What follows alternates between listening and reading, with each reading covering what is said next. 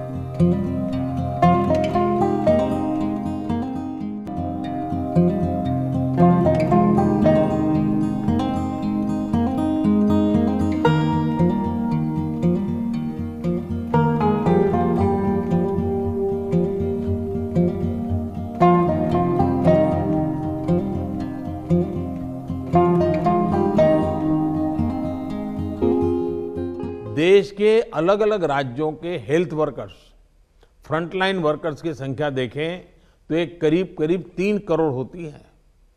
ये तय किया गया है कि पहले चरण में इन तीन करोड़ लोगों को वैक्सीन देने के लिए जो खर्च होगा, वो राज्य सरकारों को वहन नहीं करना है।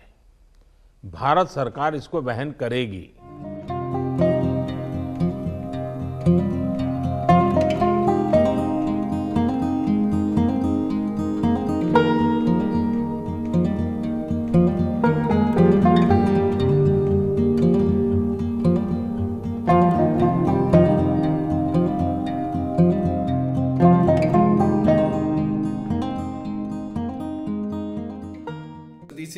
Again from Bong Squad blogs तो आज का ब्लॉग्स जो है ये very important to all citizens of India तो ये मैं दिखाना चाहता हूँ जो जो हम लोग का टाउनशिप का first candidate who got a vaccine Covishield Covishield ना?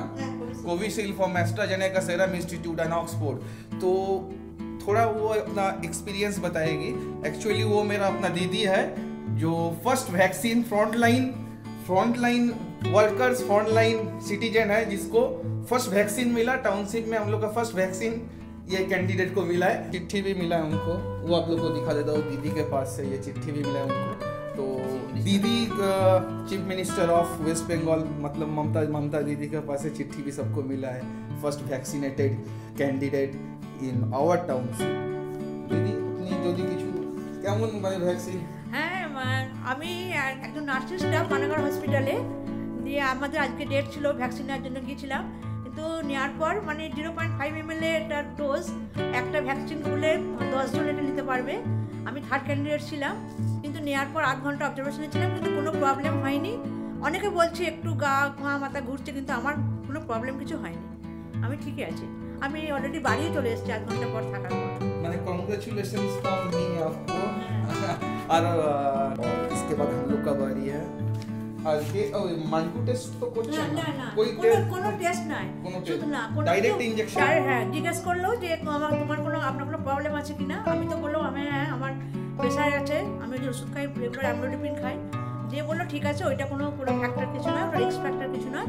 দিয়ে আমাকে সরাসরি ডাইরেক্ট একদম জিরো পয়েন্ট ফাইভ এম ওটা করলে যেমন ইন্টারমাসকুলার যেমন দেয় সেইভাবে আর তো মানে আবার আঠাশ দিন পর সেকেন্ড ডোজ আমার জন্য প্রিপেয়ার হতে। ডায়াবেটিক পেশেন্টের জন্য হ্যাঁ কি ডায়াবেটিস প্রিকশন হ্যাঁ ওই কোমরবিডিটি যারা তাদের তাদের তো দিতে বারণ করছে কিন্তু এই মুহূর্তে এখনও কিছু বলেনি। কিন্তু এটা একটা ওটা কনসার্ন হ্যাঁ। এটা কনসার্ন আছে এটা হ্যাঁ। কোশ্চেন মার্ক আছে। হ্যাঁ। ওটা ফার্দার ভ্যাকসিনেটেড হলে প্রেগনেন্ট মাদার নিতে পারবে না আর ল্যাকটেটিং মাদার একদম নিতে পারবে না আর আন্ডার এইটিন ইয়ার্স নিতে পারবে না। Okay okay okay thank you very much দিদি। का बाहर हम लोग आ गए तो जिसको फ़र्स्ट वैक्सीनेट हो रहे हैं ना उनको ममता दीदी से एक चिट्ठी मिल रहा है। कॉन्ग्रेचुलेशन दीदी के पास है डायरेक्ट एकदम मेरा दीदी को मिला है जिसको वैक्सीनेट किया गया है आज कोविशील्ड से। तो यही बात बोलना चाहता था मैं इधर ये ब्लॉग्स के द्वारा। एनीवे anyway, चलो फिर मिलता है। बाय